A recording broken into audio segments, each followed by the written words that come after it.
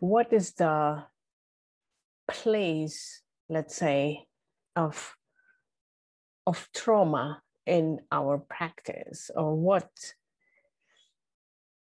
what do we do when trauma shows up, or how do we see it, or what how do we see the purpose of collective presencing? Um, is it more than let's say the therapy group? And what is then the difference? And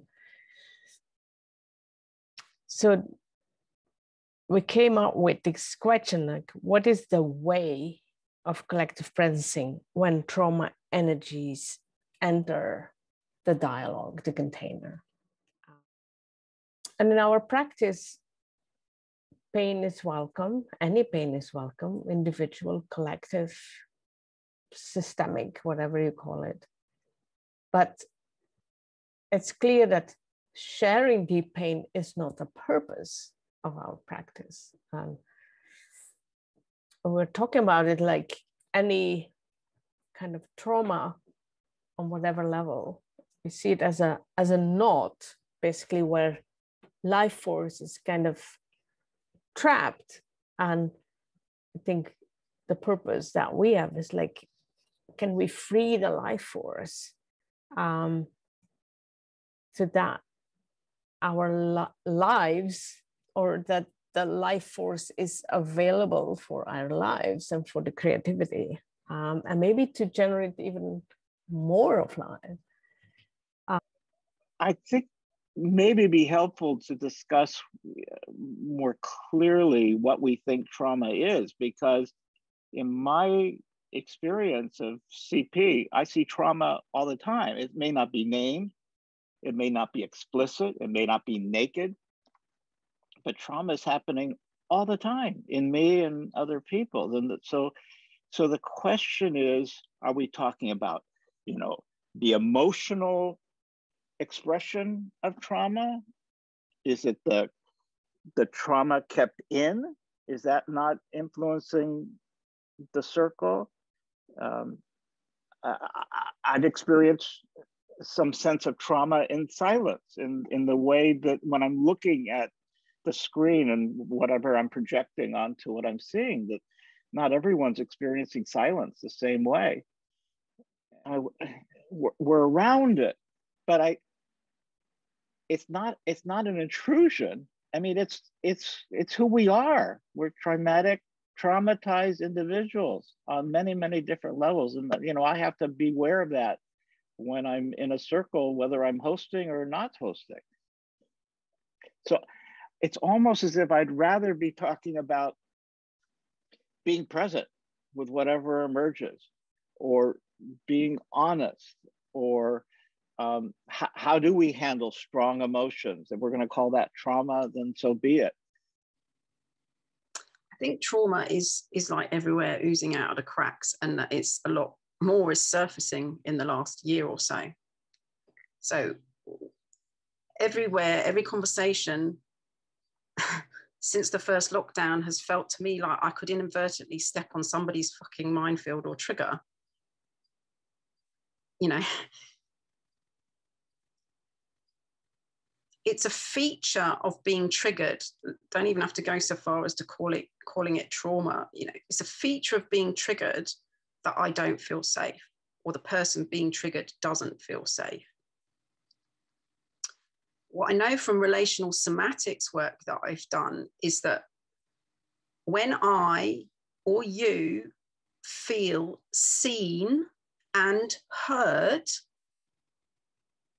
we feel safe so, so the challenge for me is this when somebody shows up and they're carrying the raw pain that's in the field.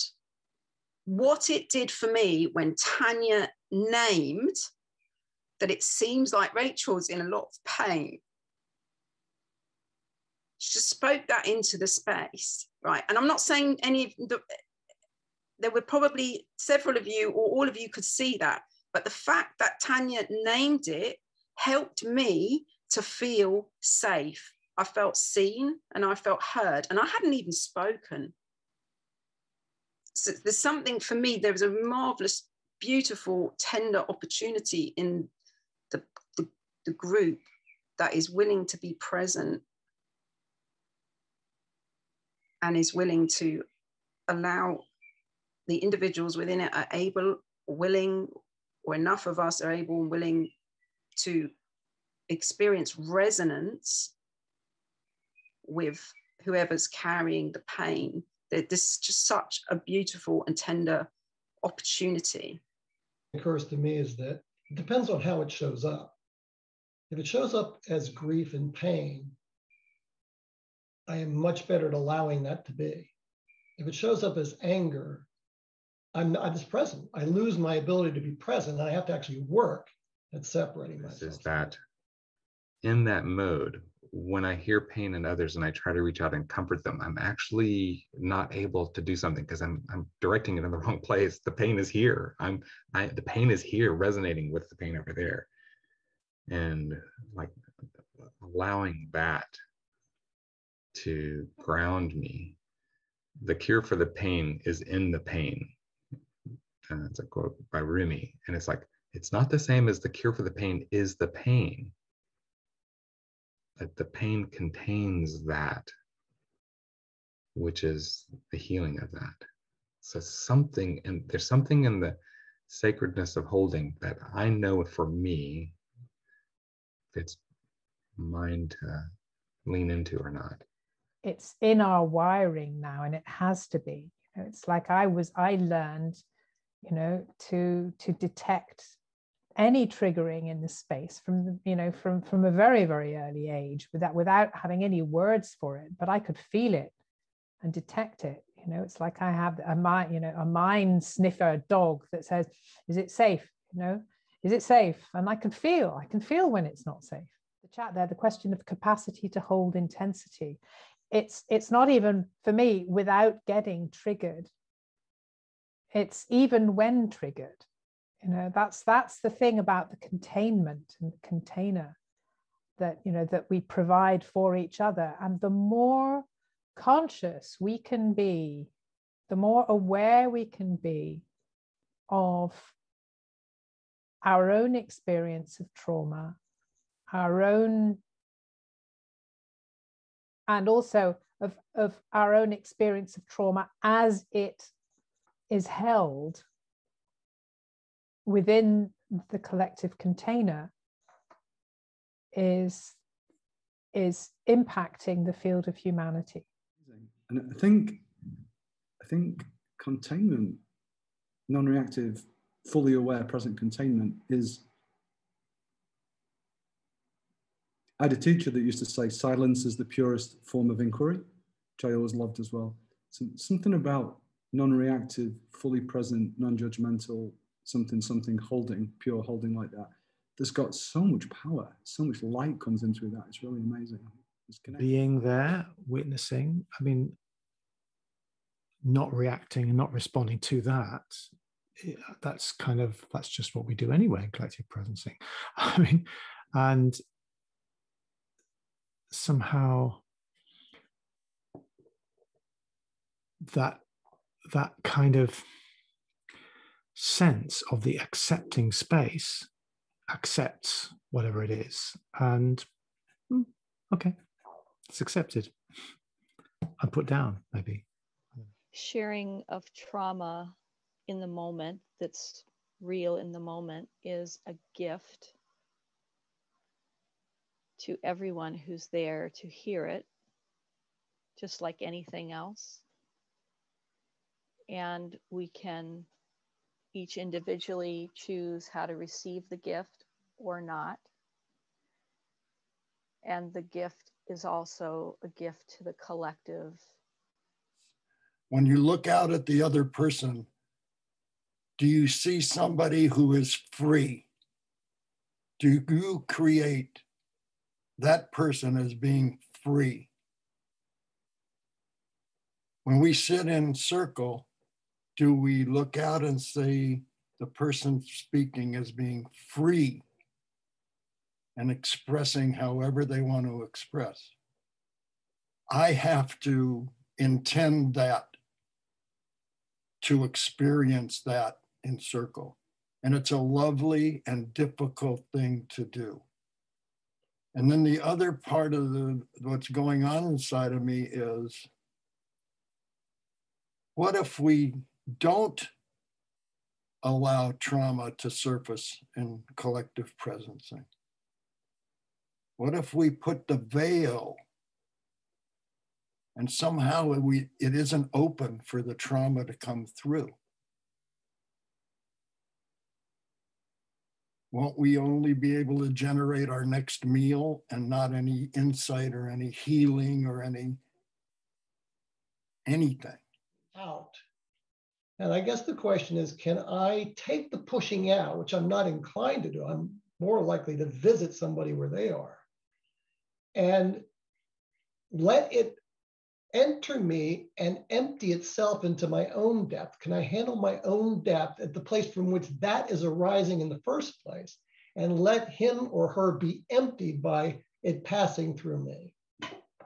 What I hear in what I, what I experience in holding space in relationship to trauma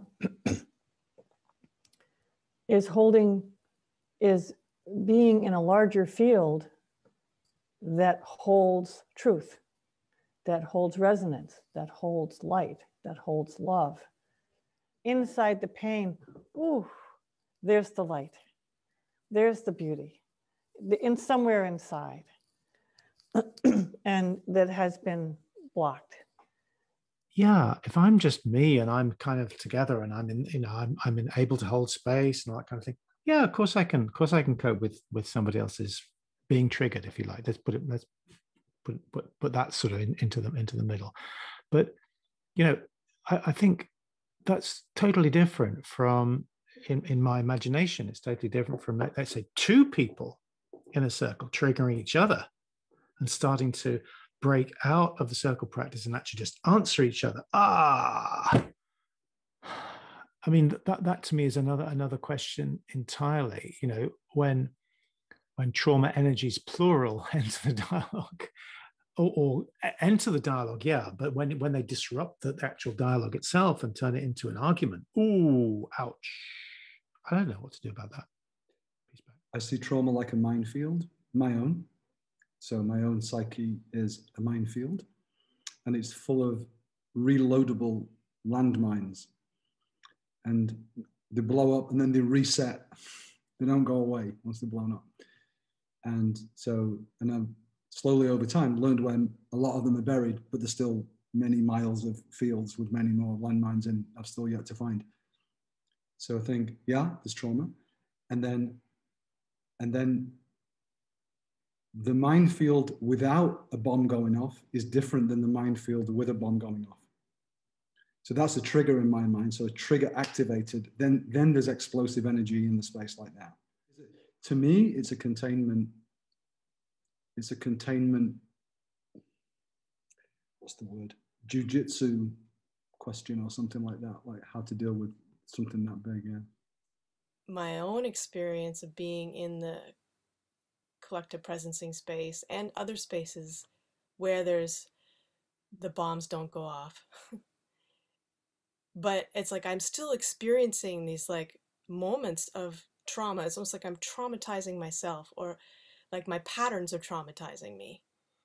You know, there's there's silence in the space after I've spoken and I'm like my trauma patterns are just going, "Oh, no one likes you."